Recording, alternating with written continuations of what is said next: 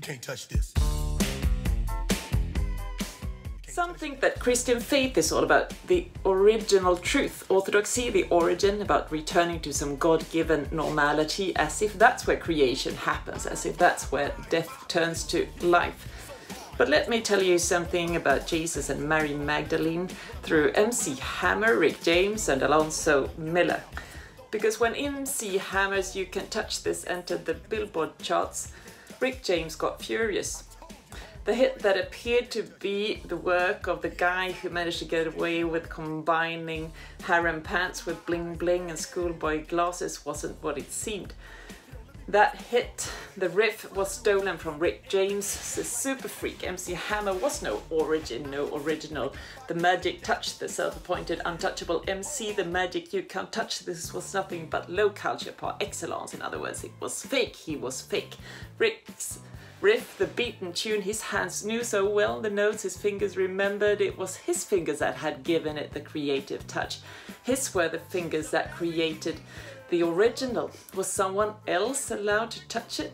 As if it was his hammer caressing the tune with his fake gold fingers? Mary doesn't recognize Jesus at first. When coming out of the grave, he doesn't appear as the original as the real thing. He's more like a fake. When Mary understands that it is him nonetheless, just a new version of him, he says that she can't touch him. You can touch this. The body she is so used to caressing that her fingers know so well. The body whose motions her body remembers. Don't touch me, noli me tangere. You can't touch this. You can't grasp this. You can't hold this. Whatever my body is, whatever I am, you can't touch this. Beneath grave dust, mouth cloth and bandage, you can touch this. I'm not yours to keep, yours to hold.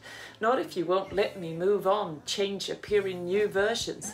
Don't ask me who I am and do not ask me to the re remain the same.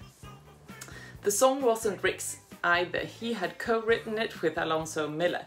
He in turn can hardly be found these days. His imprint of the world is the riff no more. You can't touch this. What is an original? What is the original? What is touch beyond the mouthpiece world? What is going back to normal as if going back was ever an option? Resurrecting the original, praising the original author, artist, prophet, lover, going back to the original life, the natural man, woman, nature state, divine state going back to the world our fingers knew so well, the motions, the touch. Nah, don't fool yourself. It's just not there anymore. And it never was. You can't touch this because reality, creation, life is what moves on. Life is a riff. Jesus is not an original. There is no original Jesus. Jesus is what appears as Jesus, constantly recreated, recreating.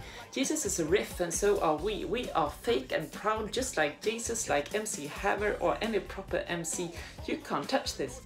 Like that. Like that. On fall on back. Let them know that you're too much, and this is a beat uh, they can't touch.